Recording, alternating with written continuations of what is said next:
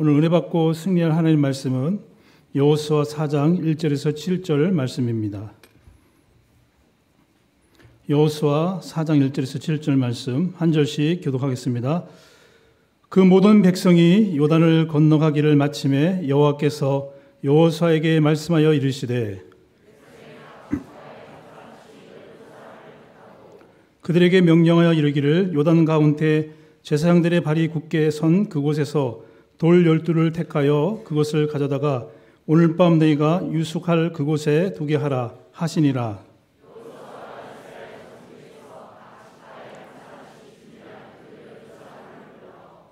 그들에게 이르되 요단 가운데로 들어가 너희 하나님 여호와의 궤 앞으로 가서 이스라엘 자손들의 지파 수대로 각기 돌 한 개씩 가져다가 어깨에 메라.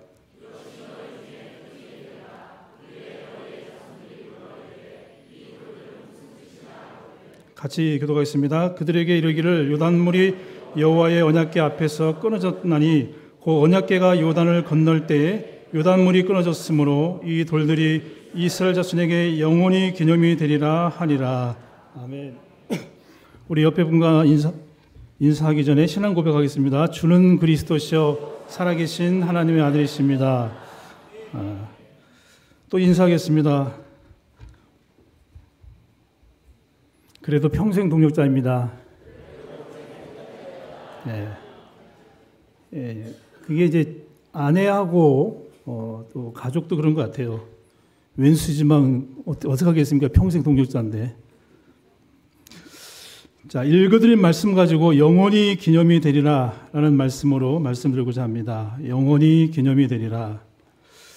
전에 그, 어, 랩런트 대회 때 그 특강 시간에 어느 장로님께서 간증하시면서 이렇게 간증을 하시는 걸 들었습니다. 어렵고 힘든 시기가 있었는데 그때 교회 목회자나 중직자에게 이런 질문을 하고 싶었다고 얘기를 해요.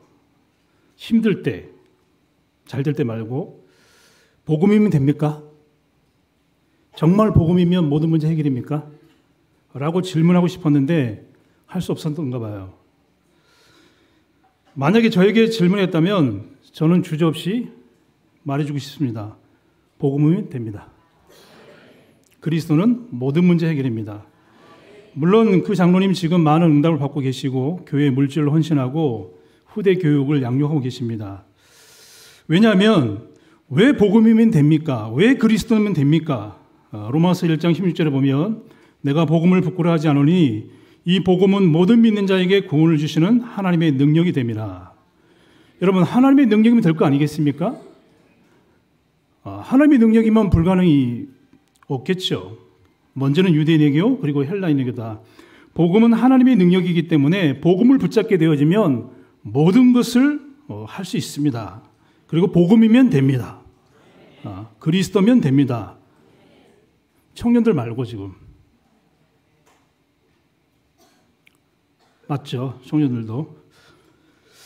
제가 왜 이 본문을 선택했냐면, 아, 우리 자녀들이 4명이잖아요. 어, 그리고 저, 제가 전도사 때 아무것도 없잖아요. 전도사인데 4명의 자녀니까 훗날에 이 아이들에게 뭘 말할 수 있을까 해서 6절에 보면 이것이 너에게 표징이 되리라 후일에 너희 자손들이 물어 이르되 이 돌들이 무슨 뜻이냐 하거든 그들에게 이르기를 요단물이 여호와 여호와의 언약궤 앞에서 끊어졌나니 곧 언약궤가 요단을 건널 때 요단물이 끊어졌으므로 이 돌들이 이스라엘 자손에게 영원히 기념이 되게 하리라.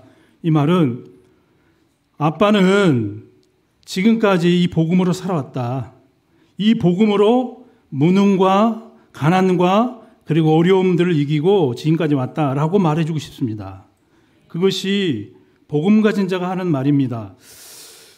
그리스도는 모든 것이다. 충분하고 완전하고 모든 것이다. 왜냐하면 그리스도는 우리 인생의 모든 문제를 십자가에서 영원히 해결했기 때문에 그렇습니다. 로마서 8장 32절에도 보면 자기 아들을 아끼지 않으시고 우리 모든 사람을 위해서 내어 주시니가 어찌 그 아들과 함께 모든 것을 우리에게 주시지 않겠느냐. 당연하시겠죠. 하나님이 그 아들을 주셨는데 그 아들과 함께 우리에게 모든 것 주시지 않겠느냐. 그러므로 저와 여러분이 예수 그리스도를 통해서 복음을 붙잡았다는 것은 시간이 지나면 지날수록 이 복음은 모든 것입니다. 이 복음은 하나님의 능력입니다. 거기에는 우리의 능력이 필요치 않습니다. 우리의 수준이 필요치 않습니다. 우리의 대단한 배경도 필요치 않습니다. 복음만, 그리스도만 모든 것입니다. 물론 거기에 덧붙여서 있으면 좋겠죠. 덧붙이면 더 좋겠죠. 그렇지 않다 할지라도 저와 여러분은 지금 순례자의 길, 정복자의 길, 남문자의 길을 가고 있습니다. 어, 랩런트는 준비하는 과정이고 청년은 이제 시작했습니다. 장년은 열매 맺는 삶으로 노년은 영혼인 영혼을 위해서 이제 걸어가고 있습니다. 이것이 복음 가진 자가 살아가는 복음으로 편집, 디자인, 설계에서 인생 작품 남기는 것입니다. 어떤 면에서 영혼이 개념이 되리라는 말은 복음 안에서 편집, 디자인 되어서 우리의 삶, 삶 자체를 통해서 기념비를 남길 수 있는 아, 그런 축복이 우리에게 주어진 것입니다. 여러분 여기서 영원히 기념이 되리라 기념비라는 말에 이 함정에 빠지 말았으면 좋겠습니다. 물론 대단한 업적을 남기면 좋겠죠. 우리 담임 목사님처럼 큰 그릇으로 세계복음화의 유목사님처럼 쓰임받으면 좋겠죠. 그러나 저처럼 강원도 고성군 토성면 천진이 주택 35호 평범한 저는 그냥 복음을 위해서 살다 가면 됩니다. 결론 부분은 얘기하겠지만. 저는 어렸을 때에, 아니, 어렸을 때가 아니라, 우리 아이들이 어렸을 때, 네 명의 아이들이 세계복음화의 주역이 될 줄 알았어요. 그리고 우리 딸은 산업인의 주역이 될 줄 알았어요. 근데 청년부에서 지금 수학 그냥 본인 월급 받고 한 번도 저에게 붙은 적 없습니다. 아, 보태줬습니다. 예, 예. 생활비를 안 줍니다. 저는 어렸을 때 이 자녀들이 세계의 복음을 해서 뭔가 할 줄 알았습니다. 뭔가 업적을 남길 줄 알았어요. 물론 그런 자녀들도 있죠. 제가 얘기하는 건 평범한 걸 얘기하니까 혹시 오해하지 마시고 우리 딸은 세계적인 전도자가 될 줄 알았습니다. 우리 아들이 전진거거든요. 서른입니다. 증거를 남길 줄 알았습니다. 증거커녕 믿음으로 잘 살아가고 있습니다. 나중에 얘기하겠습니다. 그렇다면 오늘 설교 제목을 통해서 영원히 기념이 되리라는 말씀을 통해서 우리가 어떻게 영원한 기념이 되리라는 말씀을 성취할 수 있을까 좀 생각하면서 성경 구절들을 많이 띄우는데 그대로 읽지는 않겠습니다. 시간이 많지 않기 때문에 띄우면 거기서 중요한 포인트만 얘기하겠습니다. 그래서 여러분 저 목사님 왜 성경을 안 읽었냐, 성경 대대로 안 읽고 왔냐 그러지 마시고 중요한 포인트만 얘기할 테니까 그럼 첫 번째로 기억해야 될 것이 영원한 언약을 붙잡아라. 영원한 언약을 붙잡아라. 히브리서 13장 20절에도 보면 양들의 큰 목자이신 우리 주 예수 그리스도를 아, 우리 주 예수를 영원한 언약의 피로 죽은 자 가운데서 이끌어내신 평강의 하나님이 우리 주 예수를 영원한 언약의 피로 이렇게 얘기하고 있잖아요. 그렇다면 이 영원한 언약이신 그리스도 이 그리스도를 제대로 붙잡게 되어지고 제대로 누리게 되어지면 우리는 영원한 기념비를 남길 수 있습니다. 왜냐하면 영원한 언약은 우리를 위해서 흘리신 예수 그리스도의 피기 때문에 그렇습니다. 출애굽기 12장 24절에서 27절에 보면 너희는 이 규례를 이 일을 규례로 삼아 너희와 너희 자손이 영원히 지킬 것이라. 이 규례란 말은 유월절 말하겠죠. 너희는 여호와께서 허락하신 대로 너희에게 주시는 땅에 이를 때에 이 예식을 지킬 것이라. 이후에 너희 자녀가 묻기를 이 예식은 무슨 뜻이나 하거든 너희는 이르기를 이는 여호와의 유월절 제사라. 여호와께서 애굽 사람에게 재앙을 내리실 때 애굽에 있는 이스라엘 자손의 집을 넘으사 우리의 집을 구원하셨느니라 하라 함에 백성이 머리 숙여 경배하니라. 여러분 영원한 언약은 당연히 하나님도 영원하시고 그리스도도 영원하시고 성령님도 영원하십니다. 문제는 우리가 영원하지 않다는 것입니다. 그리고 성부 하나님도 완전하시고 성자 예수님도 완전한 구원을 이루셨고 성령 하나님도 완전한 복을 하십니다. 그러나 우리는 그렇지 않습니다.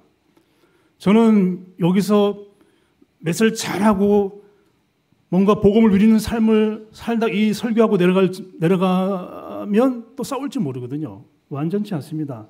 그래서 이 본문에는 영원한 우리의 속죄를 하신 그리스도가 영원한 언약이 되신다. 왜냐하면 언약이란 말은 그 약속을 믿어야 성립되기 때문에 그렇습니다. 나중에 설명하겠지만 그래서 저와 여러분이 기념비를 남기기 위해서는 지금까지 여러분 그렇게 살아오셨던 것처럼 영원한 언약 대신 그리스를 통해서 유월절 언약의 축복을 누리셔야 됩니다. 이스라엘 민족과 백성은 애굽에서 430년 동안 노예 생활을 살았습니다. 여러분이 잘 한 것처럼 출애굽기 1장 11절 14절 보면 감독들을 세우고 그들에게 무거운 짐을 지우고 괴롭게 해 가지고 그들이 뭐 엄청 그 1장 출애굽기 1장 14절에도 보면 어려운 노동으로 그들의 생활을 괴롭게 하고 흙이기와 벽돌 굽기와 농사 여러 가지 일을 시키고 굉장히 힘든 생활을 했어요. 육신적인 거지만 영적으로 볼 때는 불신자는 말할 것도 없습니다. 불신자는 여러분 잘 아는 불신자 여기까지 상태에 12가지 문제 빠져서 죽어가고 있습니다. 제가 오늘 아침에 그 이제 앞에 저희는 앞에 담당이기 때문에 앞이 어리냐고 묻지 마세요. 그냥 앞에 교구 담당입니다. 그래서 캠프 갔다가 이제 캠프하고 이제 오면서 이제 이게 교회로 이제 오늘은 차를 놔두고 앞이니까 이렇게 걸어오는데 그 폐지 쫓는 분이 이렇게 지나가고 계시더라고요. 이제 그분은 늘 우리가 만났던 분이에요. 이번에 뭐 이렇게 우리 전사선 전도사로 임명된 그 전사님도 이렇게 평신호 때늘 만났던 분인데 내가 이제 지나가면서 어떻게 잘 지내소리도 쳐다보니까 어 목사님 오래간만이에요 그러더라고. 그래서 오래간만이라고 그러더라고. 여전히 목사님은 멋있다고 나보고 또 착각입니다. 잘 지내시냐? 저한테 관상도 보여준다, 반상도 보여준다 그러고 이 소리가 정상치 않아요. 여러분 잘 들립니까? 저에게는 정상치가 않아요. 어쨌든 뭐 관상도 봐주고 막 그런다 그래가지고 이제 잘 지내냐 했더니 여기 하나 아파트 사셔요 좋은데 사시는데 10년 전에 그 아들에게 뭐 그분을 안 믿으니까 뭐 이 방송 탈 일이 없으니까 어. 아들에게 그 하나 아파트는 비싸잖아요 여기요 음, 꿈에 그린 이제 사주고 난부터 10년 전부터 이제 어머니를 패고 욕하고 막 우리가 말할 수 없는 상상을 초월한 얘기를 계속 하는 거예요. 폐지 쫓고 다니시는데 어제도 막 이렇게 막또 맞고 경찰서에 세 번 신고했다더라고요. 근데 뭐 오면 또 아들이니까 어떻게 하겠어요. 그러니까 혼만 내주세요 그러니까 이제 10만 원 벌금으로 이제 세 번씩이나 할 정도니까 쉽게 얘기하면 정말 이 그대로입니다. 방이지 대주울이죠 사실은. 이렇게 불신자들이 살아가고, 있어요. 그래서 저는 이제 오늘은 말씀을 잘 듣더라고요. 나는 이렇게 자랐다. 이랬다. 육신적으로 보면 이렇지만 영적으로 보면 아들이 45이거든요. 장가 안 갔거든요.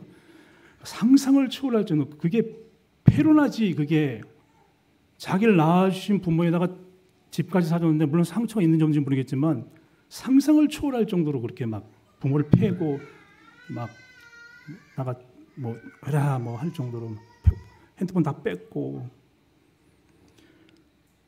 이 지금 출애굽기 1장 11절 14절입니다. 무거운 짐으로 괴롭게 하고 이 흑암의 세력이 창세기 3장이 완전히 그냥 아픈지도 모르고 살아가고 있어요. 그래서 우리가 3일조 스타트만 4천망대 237 치유 또, 또 그렇게 신다 그러지 마시고 대교구 10월 9월 10일 주간에 세상민 초청 주일 9월 17일 교회를 초청하고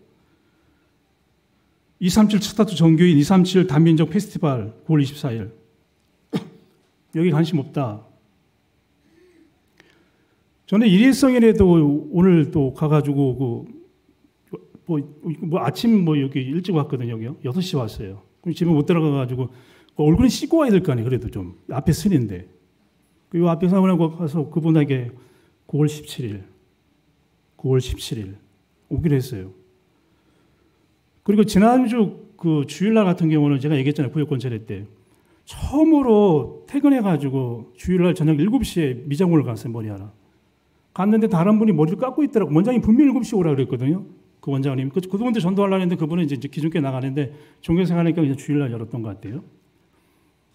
그래 내가 뭐 아니 7시 오라 그랬다면서 왜 다른 사람 깎고 있냐 했더니 그 여자분이 깎는 분이 머리 깎, 그 원장님 말고 머리 이렇게 깎고 있는 그분이 뭐라고 얘기하냐면 아니 저 예원교회 세 번 가봤어요. 그러더라 나 말도 안 걸었어요. 그럼 내가 예원교회 온거 어떻게 알아? 그래가지고 어떻게 예원교회 하냐니까 지인이 있다니까 지인이 그러니까 동서지간에 그러니까 자기 남편의 형 형이 부인이 우리 교회 권사님인가 봐요. 지금 우리 이제 그래서 오게 됐대요. 근데 중요한 건 지금 교회 나가냐 했더니 순봉교회 다니다가 5년 전부터 순봉교회 안 다닌다는 거야. 그래서 내가 일단 전화번호 따고 장단기 열석자잖아요. 순봉교회 장단기 열석자는 우리 교회로 데려가도 되거든. 장단기 5년 넘었는데 뭐 그래서 오기로 이제 일단 또 해야 되겠죠. 이거는 그냥 일회성 초청이고 진짜 전도는 당연한 거고. 여러분 출애굽기 3장 7절 10절에 보면 여호와께서 이르시되 내가 애굽 땅에 있는 내 백성의 고통을 분명히 보고 이거는 이제 하나님 봤어요. 그들의 감독자로 말미암아 부르짐을 듣고 근심을 알고 8절에는 직접이요 하나님이 내가 내려가서 그들을 애굽인의 손에서 건져내고 그들을 그 땅에서 인도해야 아름다운 땅. 9절에 보면 3장 9절에 보면 이제 가라. 10절에 보면 이제 내가 너를 바로에게 보낸다. 이 아름다운 땅이 뭡니까? 우리가 누리는 복음. 우리가 누리는 예원교회. 우리가 누리는 하나님 나라. 지금 흑암에 잡혀서 불신 영혼이 잡혀서 있는 통곡 가운데 있는 그 사람이 우리가 우리에게 오른 거 이게 가나안 땅이에요. 적과 끓이는 땅입니다. 이 사명을 우리에게 주셨습니다. 저와 여러분이 영원한 기념비를 남기기 위해서는 첫 번째로 꼭 기억해야 될 것이 뭐냐? 영원한 언약을 붙잡아라. 왜냐하면 출애굽기 12장 13절에도 보면 이 피를 볼 때 하나님께서는 피를 넘어가신다 그랬잖아요. 피를 볼 때.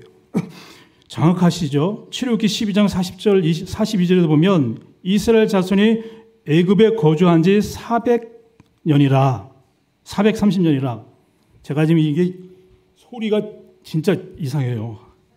막 그냥 하는 것 같아요. 여러분 잘 들립니까? 예. 그냥 하겠습니다. 어쨌든 간에. 이스라엘 자손이 애굽에 거주한 지 430년. 41절에 보면 430년이 끝나는 그날에 여호와의 군대가 다 애굽 땅에서 나왔은즉 이 말이 무슨 말입니까? 피 바르는 날 출애굽기 12장 13절에 피 바르는 날 재앙이 하나님이 내리신 재앙이 그 가정을 넘어갔다 그러잖아요. 그 6월절에 말하면 패스오버라는 거잖아요. 그리고 이스라엘 백성들이 430년 동안 노예 생활을 했는데 430년이 끝나는 그날 그 시간에 애굽의 재앙을 내리시사 이스라엘 백성들은 그것도 1년이 아니고 그것도 40년이 아니라 430년 역사가 엄청 흘렀죠. 그 날에 그들이 출애굽기 12장 13, 40절에 어, 보면 나왔더라. 이 말은 사실 예수 그리스도는 십자가에서 단번에 영원히 우리 인생의 과거, 현재, 민재를 단번에 끝냈습니다. 사실 우리가 다 몰라서 있지 믿는 순간 이 430년 동안 종살이 했던 것이 종집을 찢듯이 예수 그리스도 믿는 순간 죄와 사망과 저주와 영원한 결벌이 됩니다. 어떤 면에서는 우리 가문이 어떻고 뭐 천년이 어떻고 한 게 없어요. 십자가에서 히브리서 9장 12장 보면 단번에 영원히 완전히 끝냈다고 말하고 있습니다. 이것이 우리에게 주신 신분이에요. 뭐라고요? 이따가 얘기하겠지만 수준을 요구하는 게 아니에요. 믿는 것이에요. 새 언약의 중보자이신 그리스도께서 이스라엘 백성들에게 피 바르는 날 나왔듯이 그리고 430년이 끝나는 그날에 그들이 애굽에서 완전히 육신적으로도 해방됐듯이 우리가 예수 믿는 순간에 사실이 끝났어요. 그래서 우리 어른들은 저도 그렇고 시간이 지나면 지날수록 확인하게 되는 거잖아요. 여러분 새 언약이라는 말은 여러분 갈보리산의 언약 아니겠습니까? 히브리서 9장 15절에 보면 이로 말미암아 그는 새 언약의 중보자이시니 이는 첫 언약 때 범한 죄에서 속량하려고 죽으사 부르심을 입는 자로 하여금 영원한 기업의 약속을 얻게 하려 하심이라. 저와 여러분이 사실은 그 2대지보다는 1대지가 참 중요하거든요. 이 그리스도는 완전한 희생의 어린 양 대신 예수 그리스도께서 끝냈습니다. 요한복음 19장 30절에 보면 다 이루었도다. 여러분 갈라디아서 2장 20절에 보면 내가 그리스도와 함께 십자가에 못 박혀 하느니 이 말은 2000년 전에 예수 그리스도께서 십자가에서 끝냈다는 겁니다. 너 이거 먹어! 너 빨리 해! 예수님은 그리스도의 믿어! 물론 이것도 맞아. 훈련을 통해서. 그러나 최종적으로는 여러분이 홀로 여러분이 홀로 너 고등부 똑바로 해 믿어 이거 믿어 믿는 거예요. 그러나 막 재촉해서 믿어 소리 질러서 믿어 그것도 맞아요. 그러나 여러분 시간이 지나면 지날수록 홀로 있을 때 믿어지는 것이 최고의 믿음입니다.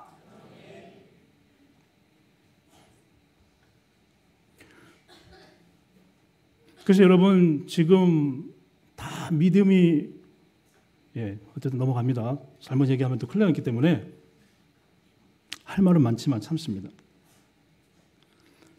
그리스도께서 완전한 축복을 이루셨다. 그래서 여러분 골로새 2장 13절에 보면 그리스도는 십자가에서 우리에게 완전한 문제를 해결했다는 것입니다. 이것이 하나님이 주신 축복 중의 축복이라.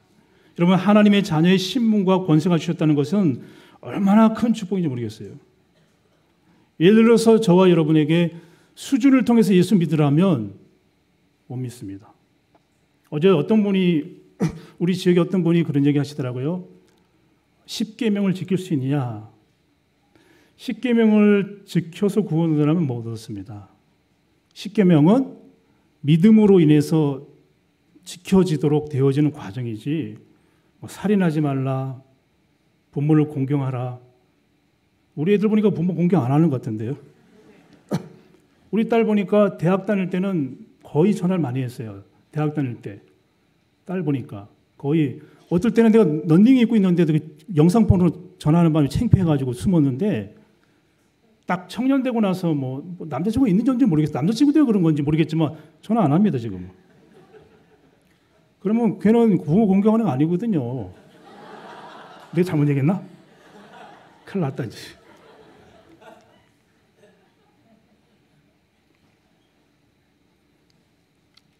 그래서 우리는 이 완전한 축복입니다. 자, 우리가 두 번째 생각해야 될 것이 있습니다. 넘어가야 될 것 같습니다. 어, 잘못 얘기했다가는 오늘 집에 가서 큰일 날 것 같아서.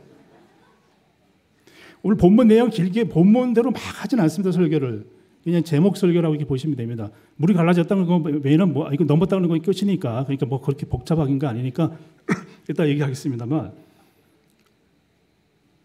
자 오늘 본문에 보면 일단은 이래 되어 있습니다. 3장 15절에도 보면 이제 3장 15절부터 이렇게 출애 아, 이제 여호수아 3장 15절부터 보면 이렇게 돼 있어 다 읽진 않습니다. 그냥 제사장들의 발이 물에 잠기자 16절에 보면 위로부터 흘린 물이 탁 그치고 그리고 그것이 막 그 온 물이 막 끊어지고 백성들이 건너갔다 이렇게 나와 있습니다. 그리고 보니까 건너가기를 마칠 때 모든 이스라엘 백성들 그런 많은 땅으로 건너갔더라 돼 있어요. 근데 오늘 본문에 보면 출애굽기 4장 5절에서 이제 7절에 보면 이래 돼 있습니다. 그들에게 이르되 요단 가운데로 들어가 너희 하나님 여호와의 언약궤 앞으로 가서 이스라엘 자손들의 지파 수대로 각기 돌 한 개씩 가져다가 어깨에 매라. 이것이 너희 중에 표징이 되리라. 후일에 너희 자손들이 물어 이르되 이 돌들이 무슨 뜻이냐 하거든 그들에게 이르기를 요단물이 여호와의 언약궤 앞에서 끊어졌나니 곧 언약궤가 요단을 건널 때에 요단물이 끊어졌으므로 이 돌들이 이스라엘 자령의 영원한 기념이 되리라. 이 말은 요단강을 건널 수가 없었어요. 범람해서 인위적인 우리 사람의 어떤 방법으로는 배가 없기 때문에 건널 수 없었는데 그냥 제사장들이 언약궤 딱 메고 언약궤란 말 속에는 여러분 뭐 지팡이도 있고 하나님 능력을 상징하고 뭐 모세 돌판 십계명 하나님 말씀 만나도 있고 그러니까 한마디로 말하면 그 언약궤 메고 물을 딱 물에 가가지고 제사장이 물에 딱 담그는 순간 물이 홍해 여러분 지금 만화 영화 보는 게 아니야. 이렇게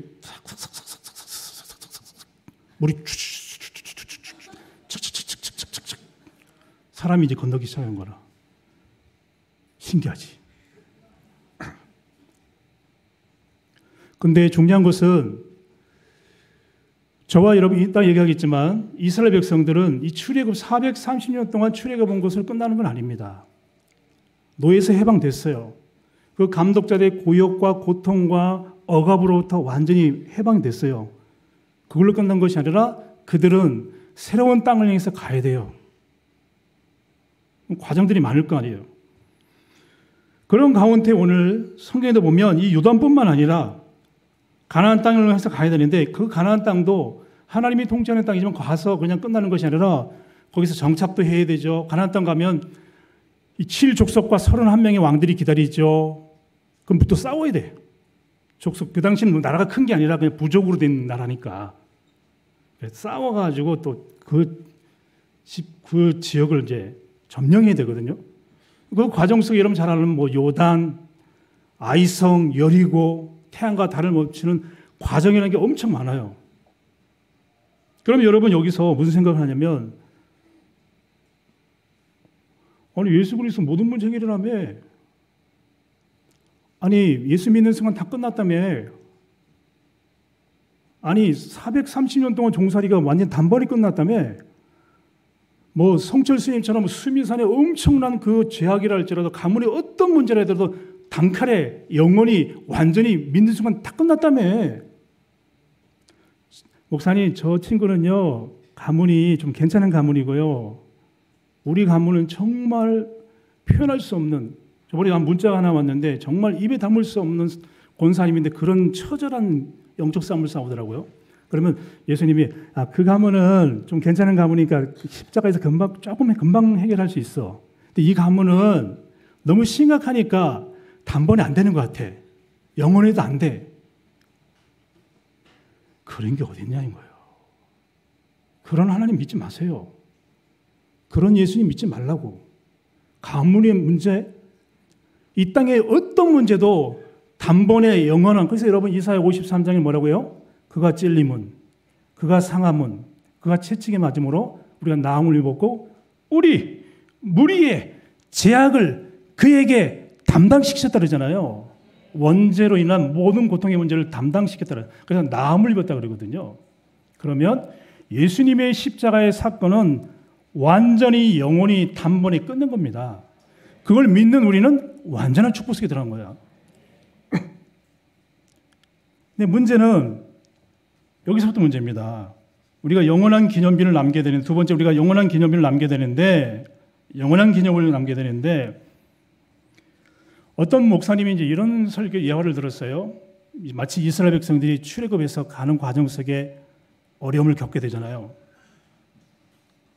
결국은요 이스라엘 백성들은요 성경에 보면 많은 문제 속에 보세요. 히브리서 3장 7절에도 이렇게 돼 있어요.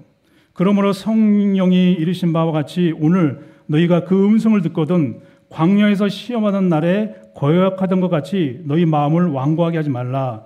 거기서 너희 열조가 나를 시험하여 증험하고 40년 동안 나의 행사를 보았느니라. 그러면 내가 이 세대에 노하여 이르기를 그들이 항상 마음에 미혹되어 내기를 알지도 못하였고 노하여 맹세한 바 같이 그들은 내 안식에 들어오지 못하였느니라. 여러분 어떤 면에서는 영어와 같이 이스라엘 백성이 출애굽해 가지고 요단 건너고 여리고 넘어 여리고 무너뜨리고 그리고 아이성 무너뜨리고 그리고 칠족석 31명 승승장구해서 가나안 땅에 들어가서 평안을 누린 것 같죠. 근데 히브리서 3장과 4장에는 철저하게 신분에 걸맞는 수준의 삶을 살지 못해 가지고 이스라엘 백성은 철저하게 광야에서 40년 동안 불신앙과 자기 체질과 환경으로부터는 사단과 영적 문제에 걸려가지고 거기서 완전 수정됐습니다. 그럼 우리가 두 번째 어떻게 기념비를 남기냐 이게 숙제입니다. 더 구체적으로 히브리서 3장 10절에도 되어 있어요. 듣고 경로하시던 자가 누구냐? 모세를 따라 애굽에서 나온 모든 사람이 아니냐. 17절에도 보면 히브리서 3장 17절에 보면 또 하나님이 40년 동안 누구에게 노하셨느냐? 그들의 시체가 광야에 엎드려진 범죄한 데는 아니냐. 여러분 엄청난 구원의 축복 속에 피 언약 잡고 나왔어요. 근데 문제는 가는 과정이 중요한 거예요. 믿는 것도 중요하고 믿는 게 다죠. 다지만 이 믿는 것을 가지고 어떻게 가느냐가 중요한 것 같아요. 우리가 어떻게 요단을 건너고 여리고를 무너뜨리고 아이성을 무너뜨리고 7족속과 31명의 왕들을 이길 수 있느냐. 이걸 다른 말로 말하면 어떻게 우리의 체질과 무능과 복음은 완전하잖아요. 우리에게 주신 영적 배경은 분명하죠. 그죠? 어, 여러분 제가 오늘 설교를 되게 못하는 것 같아요. 반응들이 별로 분명하잖아요. 우리에게 신분과 권세 준 건 분명하고 그리스도는 완전한 속죄를 주신 거 분명하잖아요. 그 문제는 그래서 어떤 목사님 이렇게 표현했어요. 그 왕자와 거지의 동화 얘기를 했어요. 그러니까 거지로 살다가 잘못 오해돼가지고 왕자가 된 거예요. 그러니까 이 거지가 왕자의 뭐 삶을 살아봤어요. 왕궁에 살아봤어요. 거지처럼 사는 거예요. 그래가지고 왕궁에 들어와가지고 어패에게 찍는 중년 어패잖아요. 어패를 가지고 호도를 깨먹고 큰일 날 일인데 그 찍으면 끝나는 건데. 그런데다가 밥 먹고 나가지고 손 씻는 꾸중물을 마시고 그 신하들이 그걸 보고 왕자가 아닙니다. 당신이 수치입니다. 그런 얘기 해요? 못해요? 못하는 거야. 그래도 왕자요. 그럼 이 사람은 수, 왕자로서의 수준을 업그레이드 시켜야 돼. 거지 생활을 청산하고. 우리가 하나님의 자녀로 완전한 축복을 받았고 그리스도는 완전한 속죄를 이루셨는데 우리의 체념과 체질과 무능과 환경은 지금도 존재하고 있습니다. 그러므로 39, 393이에요. 393을 통해서 이 보좌의 능력을 통해서 이 성삼위 하나님의 비밀을 통해서 이 거지 행세를 어떻게 무너뜨리냐가 중요한 거라. 수준을 높여야 하니까 수준. 옆에 분 인사하세요. 지금 이 얘기하려고 제가 수준을 높이시다.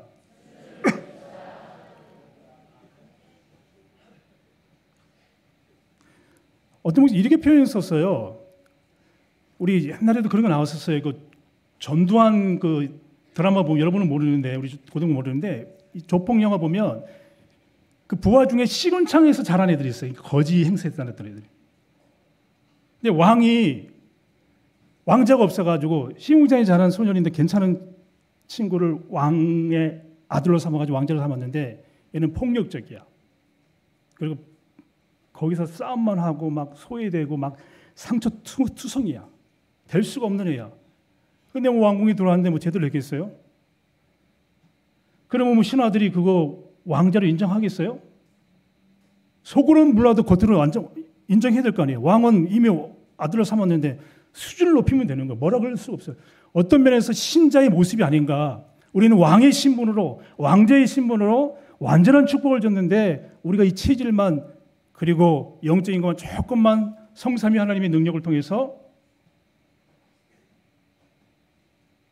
체험한다면 상처가 치유된다면 우리의 무능이 하나님의 재창조의 능력을 바뀐다면 우리는 신분에 걸맞는 권세에 걸맞는 수준이 업그레이드 되어서 하나님 앞에 기념비적인 삶을 살 수 있습니다.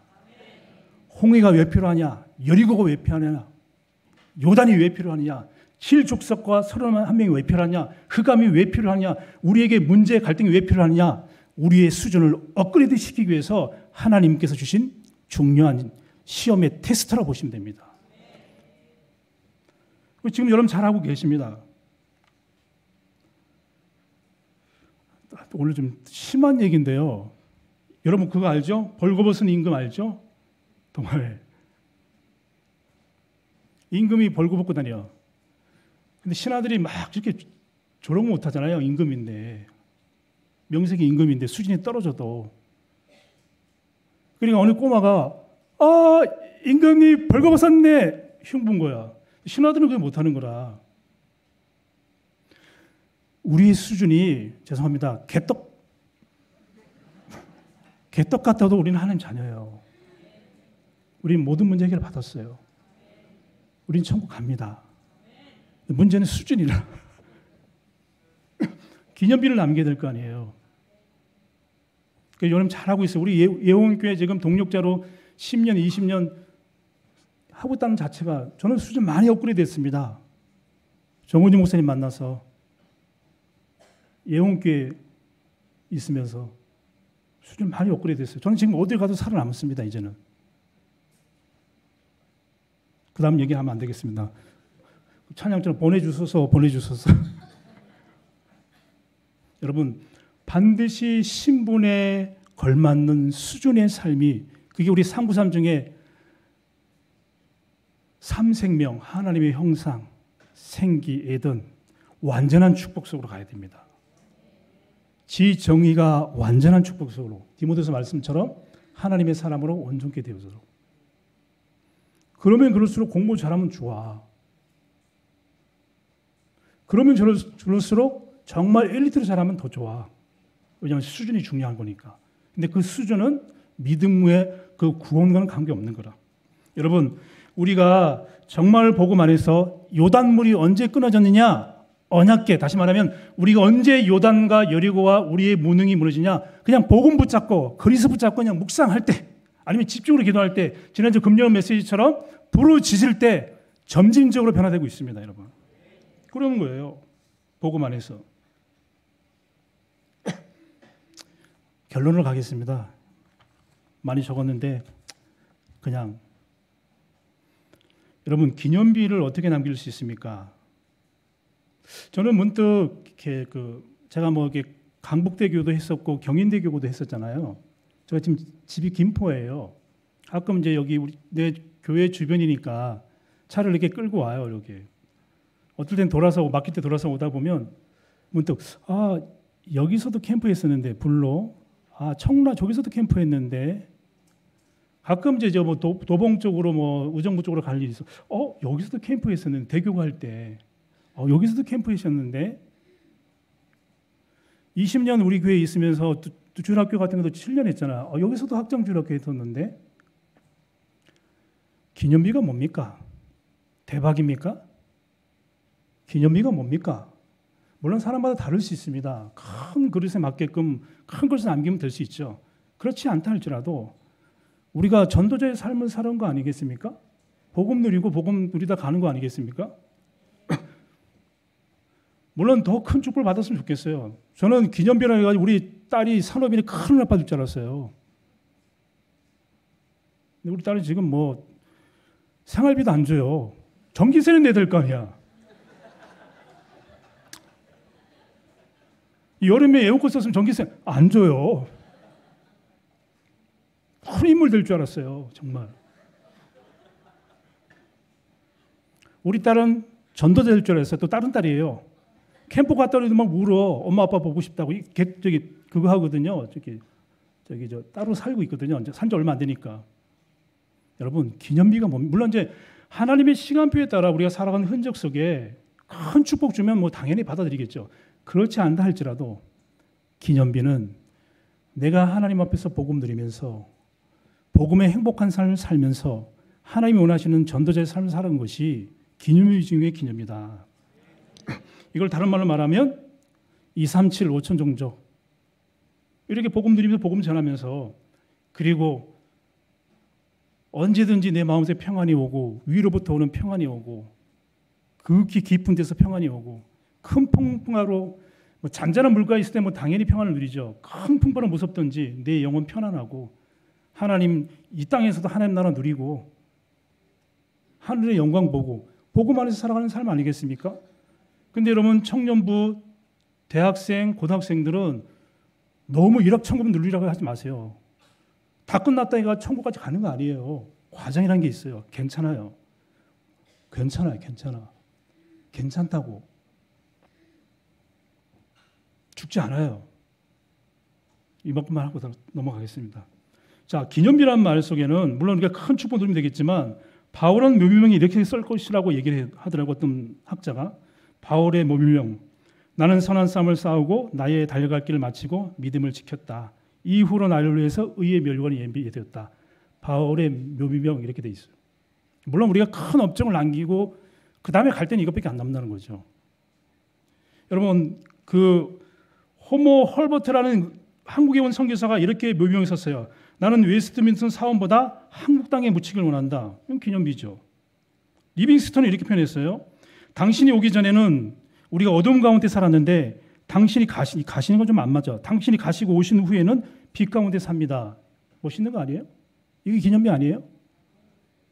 복음 안에서 살아가는 삶. 복음을 위해서 쓰임 받는 거, 2, 3, 7, 5천 살리는 거. 많이 주시면 감사하고 덜 주셔서 감사하고 이 성삼의 하나님에 대한 믿음이 확실하게 되어지는 것 지금도 흑암으로부터 이길 수 있는 힘이 있으면 되는 거 아니겠습니까? 근데요 더 중요한 거는요 이렇게 살면 안 될 것 같아요. 영국의 극작가에 있어요 소설가 노벨상도 받았어요 1925년에 우물쭈물하다가 내가 이럴 줄 알았다 버나드 쇼의 묘미명 우물쭈물하다 이러다 이럴 줄 알았다 그러면 안 되잖아.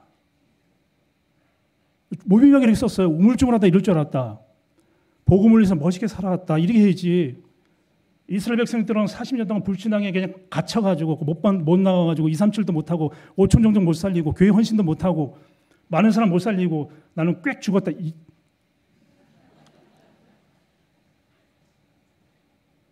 기도하셔야 돼요. 하나님 우리 수준이 업그레이드 되도록 기도하셔야 됩니다. 몸부림치셔야 돼요.